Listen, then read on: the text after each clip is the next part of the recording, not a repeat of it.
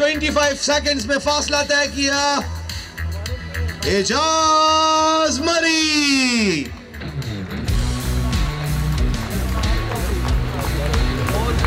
Well done Ejaz मरी साहब। सी stock category में पहली पोजीशन तो होनी चाहिए। हाफिज चिश्ती, इनके को ड्राइवर थे।